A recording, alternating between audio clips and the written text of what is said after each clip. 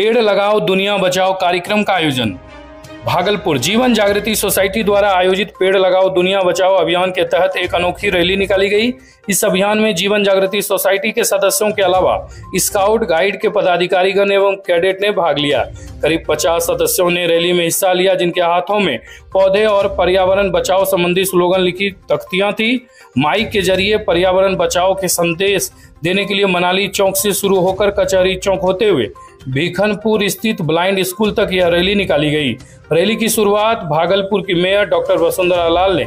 हरी झंडी दिखाकर की इस मौके पर जीवन जागृति सोसाइटी के अध्यक्ष डॉक्टर अजय कुमार सिंह ने कहा कि आज के गर्मी के प्रकोप का मुख्य कारण पेड़ पौधों की कमी है।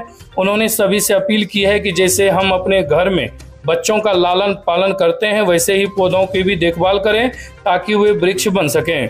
वहीं ब्लाइंड स्कूल के कर्मचारियों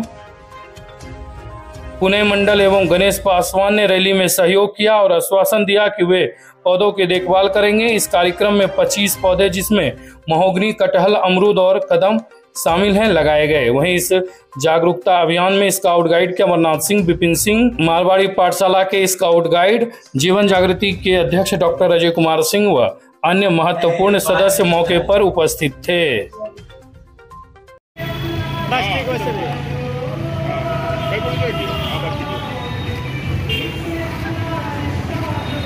अभी एक जागरूकता रैली निकाली गई है है।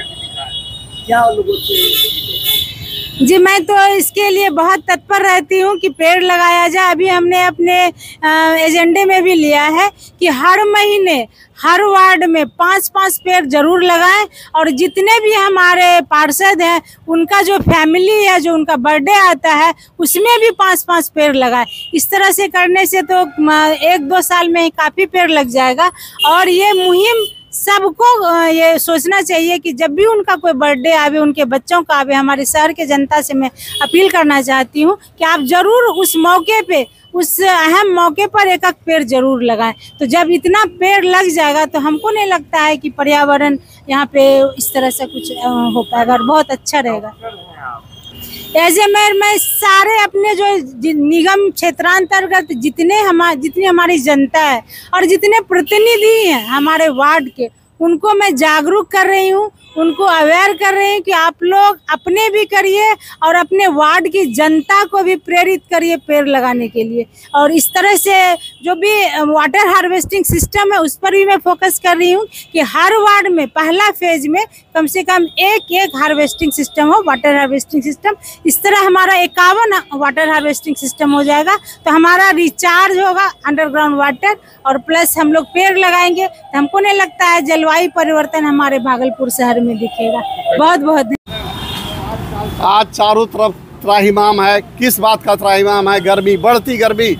हम लोग सुने नहीं थे। 40 से ऊपर टेम्परेचर अभी 40 नहीं 45 45 नहीं 50 और बावन टेम्परेचर तक हो जा रहा है। कैसे भी, कैसे जीवन बचेगा मानव? कैसे बचेगा? और इसका एकमात्र उपाय है कि पेड़ लगाना। पेड़ नहीं लगेंगे तो तापमान इसी तरह से बढ़ते जाएगा।